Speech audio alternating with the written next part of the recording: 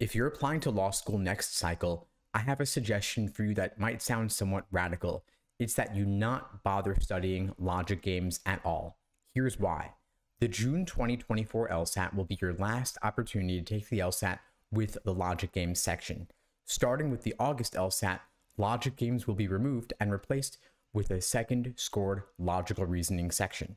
What this means is that if the June LSAT is your first attempt and you want to retake it, you'll be retaking a version of the test without logic games on it at all. So any work you will have invested in logic games will be wasted, and you would have been better off devoting that time to logical reasoning since the new LSAT will have two scored logical reasoning sections, one scored reading comp, and no games. Of course, it's possible that you could be one and done with the June LSAT, or maybe you want to take the LSAT in April and then retake it in June. However, few students end up taking that approach in practice, in part because there's not a whole lot of urgency when you're studying for the LSAT in the spring, knowing that you have retakes available in June, August, September, and beyond, of course. Of course, you could have some self imposed urgency knowing that the June LSAT will be your last chance with the games.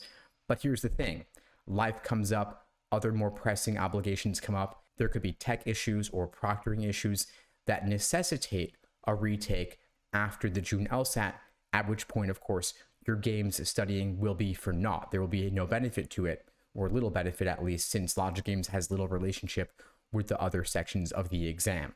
So I recommend that you either say to yourself, you know what, I'm going to go hard on the LSAT for February, April, maybe June as a last ditch effort if you want to take the LSAT with the games, or alternatively, you focus all your efforts on the August 2024 LSAT with two scored reasoning sections, one scored reading comp section, knowing that, of course, you could also retake the LSAT other dates that fall. Here's some frameworks to help you decide whether you want to take the LSAT with the game section or without the game section.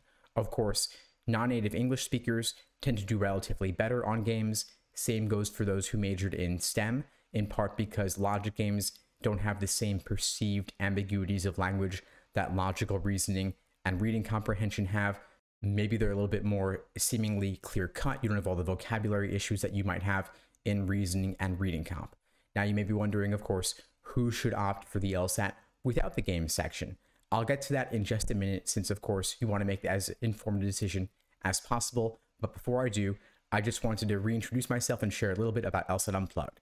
My name is Steve Schwartz. I founded LSAT Unplugged. We have a variety of ways we can support you in getting the highest LSAT score possible, getting into a T14, getting a full ride to law school or significant scholarship money, maybe both. We have live online classes via Zoom, on demand video courses, small group coaching, and one on one coaching. You can check out the links below this video to find out more and to book a call with me and my team. We'd love to help you out. So, who should take the LSAT without the games section? Typically, those who majored in the humanities, those who don't like math, tend to have a harder time on games and tend to do relatively better on reasoning and reading comp. You could, of course, take a version of the LSAT with the games section or take a couple of sections, no games, just the two reasonings and one reading comp, and see how you do on each. Maybe you'll do better with the games, maybe you'll do better without the games. However, it's also worth considering that Many students struggle with games a lot at first, but it ends up becoming their best section. That was certainly the case for me. I struggled a great deal at first. I was never a math person. Humanities was always more of my strong suit. I majored in political science, and games gave me a lot of trouble. But I ended up getting consistently perfect logic game sections because the patterns there were a lot more obvious to me than in reasoning and reading comp where they're a bit more subtle. So you may want to devote a couple weeks at least to studying games to see if you can improve significantly on them before making this decision whether to go hard for the LSAT over the next few months or whether you want to focus more on reasoning and reading comp and aim to take the LSAT in August of next year, several months away. Anyway, folks, that's all for now. I hope you found this video helpful. If you did, please share it with someone who needs to see it. Maybe you know someone who's debating whether to take the LSAT with the game section or without the game section, and this video could make the difference for them in helping them figure it out. And by the way, if you haven't already, get a copy of my book, Mastering the LSAT, available at lsatmasterybook.com. In the meantime, I'll wish you all the best and take care.